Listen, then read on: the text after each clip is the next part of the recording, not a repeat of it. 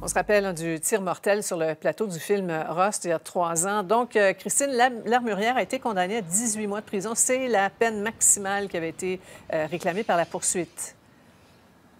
Exactement, Sophie, euh, c'est euh, elle, Anna Gutiérrez Reed, qui avait chargé le revolver qu'Alec Baldwin manipulait sur le plateau et dont la balle avait tué la directrice de la photographie, Helena Hutchins.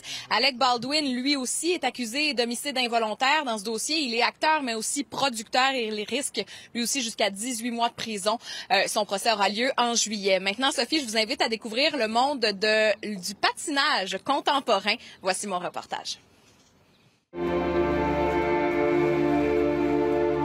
Le patin libre fêtera ses 20 ans l'an prochain.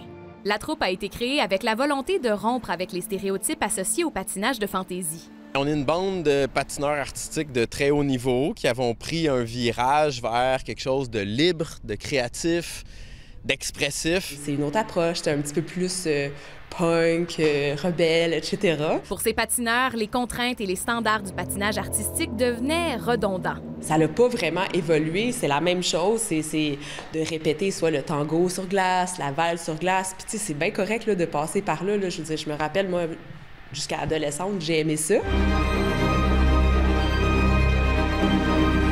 Évoluent maintenant dans un milieu plus moderne qui leur permet de vivre de leur discipline en donnant des spectacles à travers le monde. Leur dernière création, Murmuration. En anglais, c'est le mot qui désigne une nuée d'oiseaux volant dans un mouvement qui ressemble à une danse. Ces formations là, magiques, très, très, très complexes et mathématiques. Ça se déplace à grande vitesse. Tu vois que tous les artistes sont, puissants, sont forts, sont en contrôle. Tu sais, c'est émouvant. La troupe a aussi une grande implication communautaire, surtout dans la région de Montréal, et tente de rendre l'aréna invitant, même pour ceux qui ne sont pas initiés au hockey ou au patin. C'est de prendre l'aréna puis de le rendre ouvert à tout le monde, puis d'en faire un lieu de, de plaisir, puis d'apprentissage, puis de rencontre. Murmuration sera présentée à l'Arena Mont-Royal jusqu'à dimanche. Billets en vente sur lepatinlibre.com.